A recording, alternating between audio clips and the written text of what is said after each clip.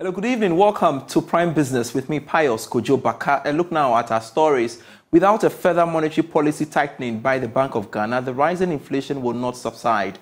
According to research firm IC Research, the Monetary Policy Committee baseline forecasts show a slightly higher elevated profile in the year ahead.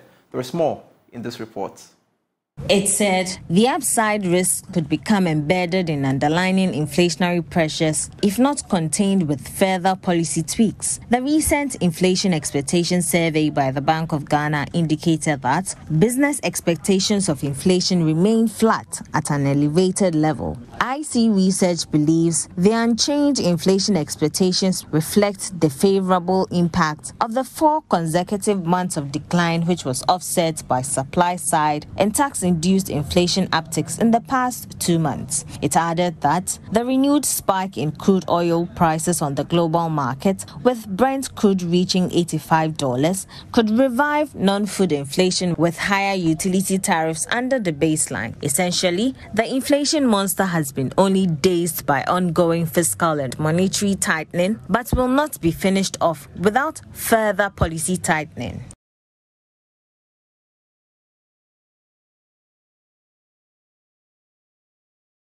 A while longer on the economy, and the World Bank is expected to complete review of government flagship projects by the end of next month. The move is part of ongoing support from the country's development partners to help reduce government's rising expenditure. Some of the projects being covered under this review is the Free SHS initiative and the school feeding program. Finance Minister Ken Ofori-Atta disclosed this on GTV's current affairs program, Talking Point.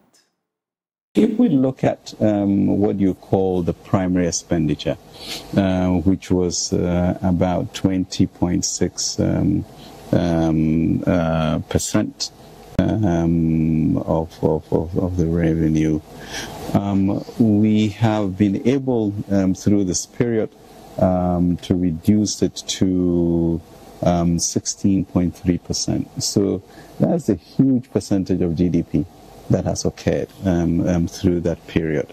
Um, so yes, in terms of uh, having an eye on how um, MNDAs spend money, um, the way in which um, contracts are approved, you know, the things that you uh, would not see, mm. uh, which really has a huge impact on, on our costs. Uh, are being tackled.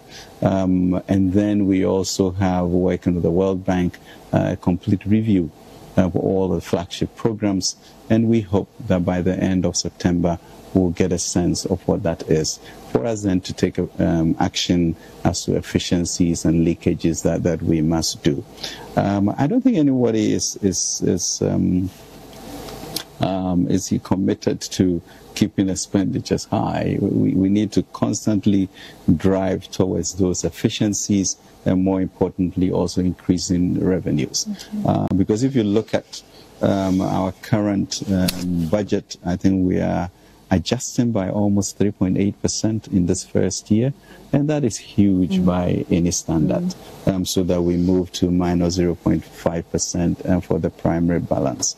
Um, so there's rigor in what we are doing. We expect that by the time we get these assessments and analysis, uh, we will be even more um, surgical in the things we do. Uh, I think most of the clamor um, has been um, reduce the number of ministries, etc., etc. Something um, that can be tangibly seen. Seen, yes. Uh, according to people. Mm-hmm. And what can be tangibly seen, Doc, would be that three or four ministers uh, may not be there, mm. but the 650,000 um, civil servants will not change. Mm.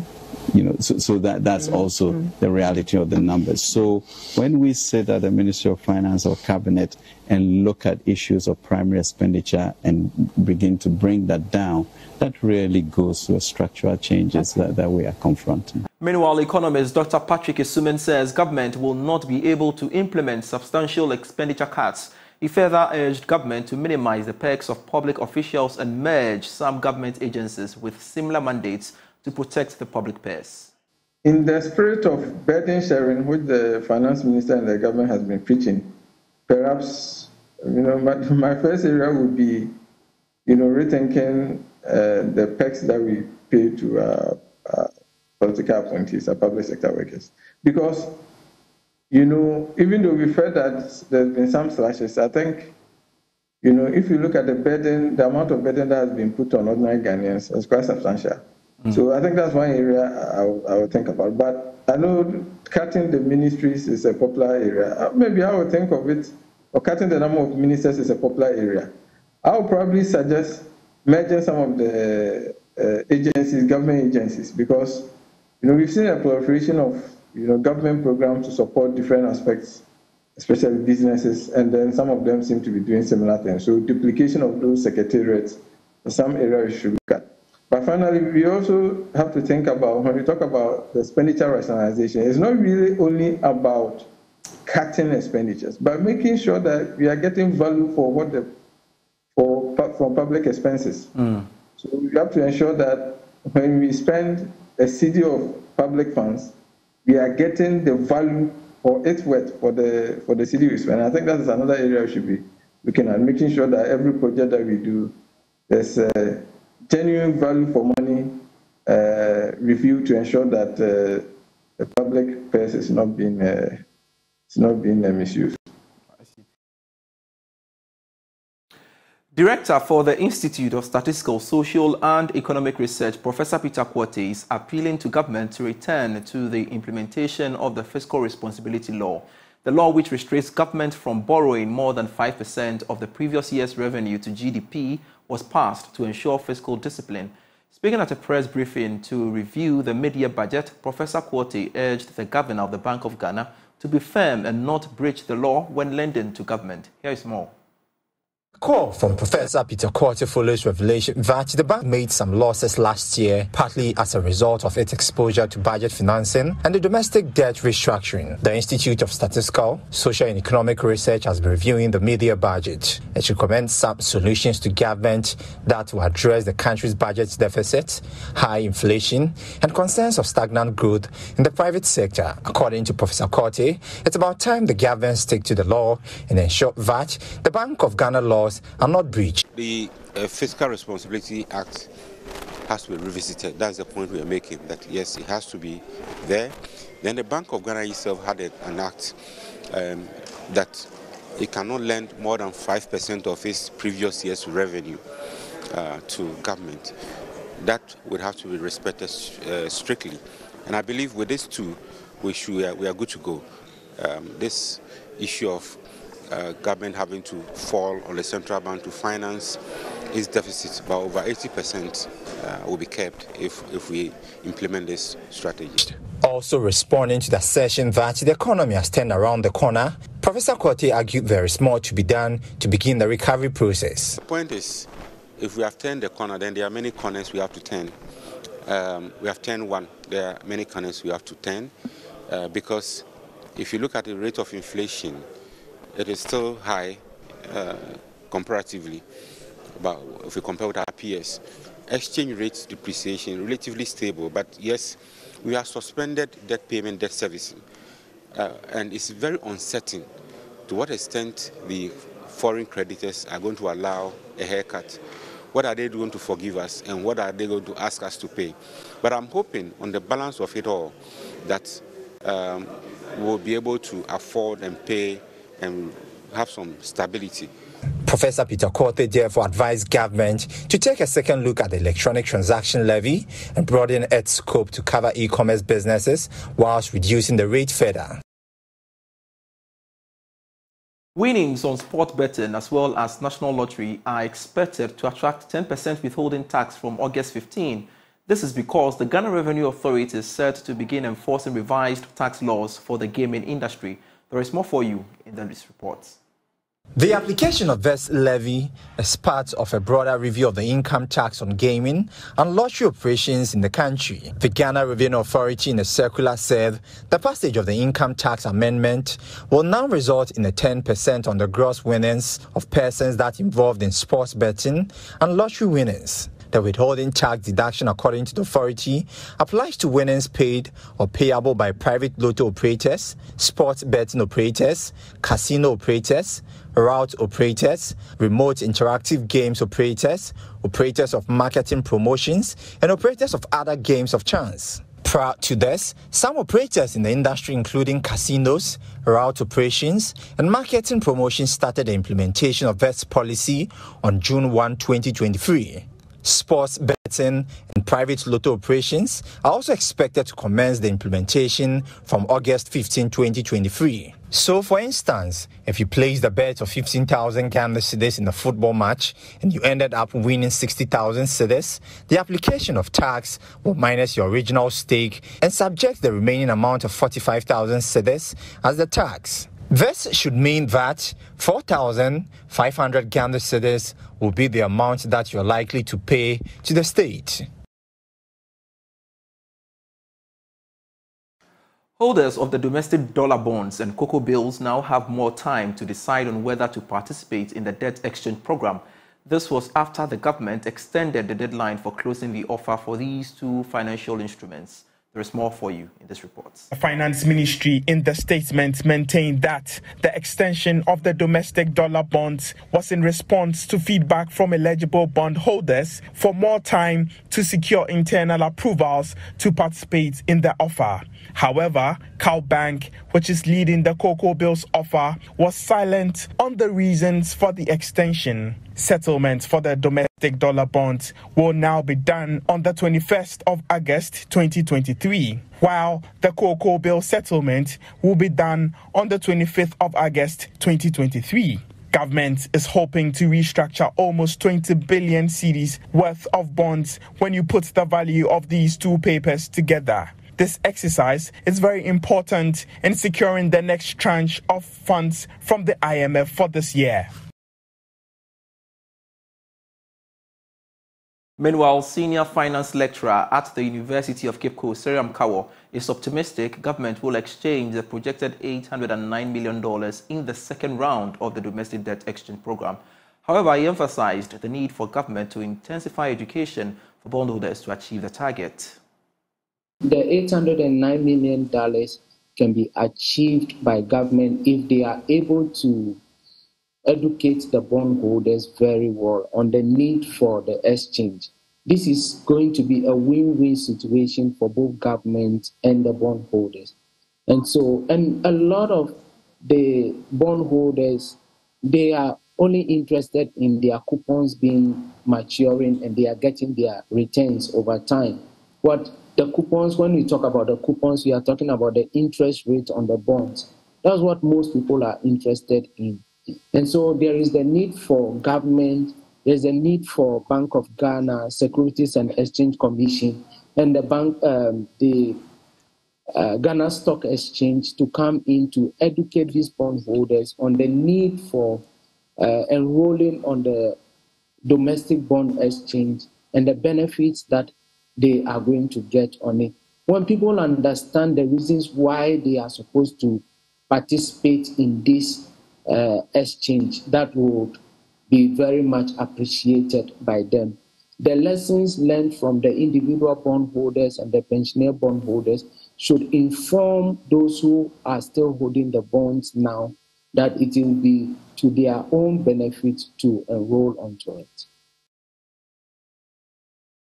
A while longer on the domestic debt exchange program because the Director General of the Social Security and National Insurance Trust, SSNIT, Dr. John Ofori-Tenkorang has indicated that his outfit is willing to participate in the second round of the domestic debt exchange program.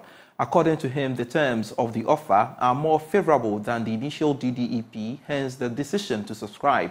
He was speaking at the 2023 edition of Employers Breakfast Meeting.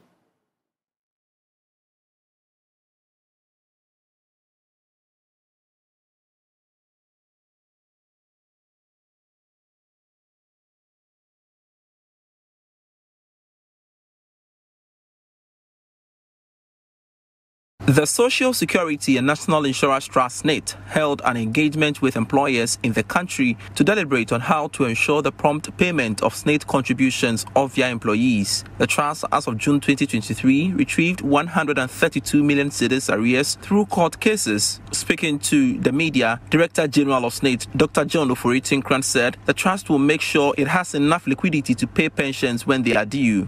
The government has tabled a new uh, offer for hold pension funds that are holding uh, government bonds. Um, the, the, the, the, terms of the offer certainly are better than I think the first one that was floated. Uh, we do hold some government paper. Um, I think it's about a little less than a billion Ghana cedis of government paper. We will look at it and then we will, um, you know, um, subscribe um, and make sure that uh, we we are we have enough liquidity to be able to pay our immediate benefits when they come due. You know, the at SSNIT, uh, the, the way we pay our pensions, part of it is from the fixed income, uh, which will be partly affected. Part of it is from contributions, and part of it will be from other investment uh, income that we have. Uh, we've had a bit of a headwinds vis-a-vis dividends from the banks, but we believe that all this is temporary and that uh, in the next uh, year, couple of years or so, we'll be back to trend. Deputy Director General in charge of operations and benefits at SSNIT, Pearl Nana Amadakun, urged employers to be compliant and pay SSNIT contributions of their employees. Let's all of us here care about the bottom line, i.e., your profits. Therefore, a good corporate social image and the culture of your organization is important. The contribution you pay provide a sense of security for your workers and promote industrial harmony. Your continuous compliance also positively impacts your image as a good social and corporate citizenship. The 2023 edition of Employers Breakfast Meeting was held under the theme Providing Pensions for All, the Role of the Employer. Jesse Agbapo's report read to you. Now, EcoBank Ghana PLC says it will continue to deepen its relationship with its customers to aid in the expansion of the company's operations. According to the executive director and head of consumer banking, Dr. Edward Botchway, his outfit will come up with various innovative packages to give back to its customers. He was speaking at the final draw of the EcoBank Double Salary Promo Reloaded. Bank rewarded 186 customers at the end of the EcoBank Double Salary Promo Reloaded. 70 customers were, however, rewarded at the final draw. Dr. Botchway disclosed that the bank will continue with its engagement with various stakeholders. it's, it's been an interesting three months. Um, we began this uh, journey um, in, in May, and we've now come to the end of this, this phase. But I think, as you've all heard, this is not the end of the journey, it's the end of the promotion. But the account itself continues, the benefits to the account continues, and the other events and activities that EcoBank would continue to have for its uh, clients would, um, would continue. So perhaps, as they say, watch the space. We'll be doing a lot more. And, and we, we are um, quite glad with the, the interest that our customers have shown in this. We are, we are quite glad with the number of customers that have come on board because of this. And I think the, the pledge that we can make to our, our client base is that we will continue to excite you would continue to, to come up with new new ideas to, to keep you happy with the brand. The EcoBank Double Salary Promo Reloaded was meant to reward existing and prospective customers who received their salaries through the bank.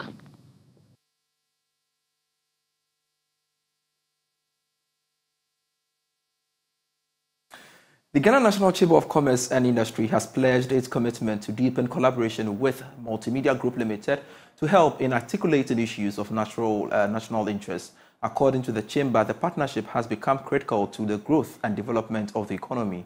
Speaking to Joy Business after leadership of the Chamber paid a working visit to management of the Multimedia Group Limited, President of the Ghana National Chamber of Commerce and Industry, Clement Osei-Amoako, said his outfit will be signing an MOU with Multimedia, which will focus on advocacy, entrepreneurship, and policy direction to help accelerate economic development.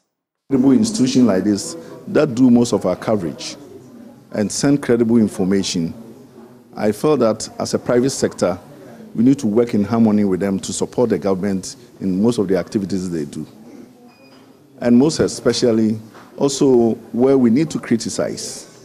I think that this is also a very good platform for us to tell the government, look, can you look at this way? Some constructive criticism are very important for our nation. And so that they will to straighten the government to know what it must do. Sometimes when you are leading, you might be making some small mistake you don't even know. It is good that we take this opportunity to address the government, to stand tall and be able to work. And where the government is also doing well, we commend them. And so today, as part of our visiting most of the medias, we selected multimedia because for us, they are the best that we know. And so to have some interaction with them, look at the key areas that they are performing, which we can collaborate as a chamber with them. And then work hand in hand to support our members, support Mother Ghana and the world as a whole. And so today we were privileged to have them with us, and we have discussed extensively uh, what we want to do going ahead. And I believe that this meeting is going to help us into the future um, so that we'll be able to um, address the nation in the best way, and even the business fraternity. Now, the Ministry of Communications and Digitalization has called on academia to inculcate the use of emerging technology in teaching and learning process. According to the ministry, this will improve digital inclusion and deepen the development of ICT in the country. Deputy Minister of Communications Ama Pomaa has been speaking on behalf of the sector minister at the launch of the National ICT Week, which is spearheaded by the National Information Technology Agency. With the advent of emerging technologies, Ghana is poised to fast track the development of its technology space through its digitalization agenda. As part of efforts to drive digitalization, the National Information Technology Agency has launched the National ICT Week and the World Technology Forum. The program, which is under the auspices of the Ministry of Communications and Digitalization, will seek to deepen collaborations and enhance conversations in the sector. Speaking at the launch, Deputy Minister for Communications and Digitalization, Ama Pomaa, called for the inclusion of technological tools in teaching and learning processes. We Call upon our academic institutions to emphasize ICT education and research, fostering a culture of lifelong learning and technological adaptation. Embracing emerging technologies will allow us to stay at the forefront of innovation and keep pace with a rapidly evolving global landscape on the need to develop proper data systems, Director General of the National Information and Technology Agency said his outfit will facilitate proper data collection and laws. Ensuring that we have data specific to us and even on the continent is, is, is what the dialogue has been, right? Um, data centers are doing okay. Uh, if you take the National Data Center, is doing extremely well. It's being revamped. Um, government now has a government cloud. Uh, we are doing well there. Uh, we are working with our sister agency, Data Data Protection Commission, to ensure that there's a data governance strategy. Uh, so I, I, it's, it's, it's such a critical point you've made that we cannot continue to use data that the white person has collected. That's all for Prime Business with me, Pius Kojo Prime Sports.